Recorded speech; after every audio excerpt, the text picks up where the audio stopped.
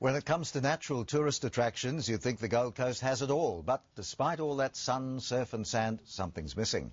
So now there's a move to build what nature overlooked. You won't hear too many admit it, but the Gold Coast is just a tad envious of the Sunshine Coast, and this is why. The hulk of the former HMAS Brisbane has become a mega diving attraction. Well, look at Mooloolaba, mate. 100,000 divers on the Brisbane. It should be the same on the Gold Coast. Bon voyage. The absence of a dive reef here is effectively the missing link in our tourism industry.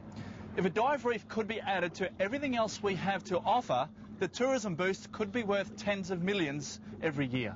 We can reach into Asia, where, for example, Korea has 600,000 dedicated divers, not to mention Singapore, Hong Kong, China, Malaysia. The closest diving attraction is off the Tweed, but perhaps not for long. The newly formed Marine Recreation Association wants a reef less than two k's off the Gold Coast Seaway. There are great opportunities in these waters. They are very productive.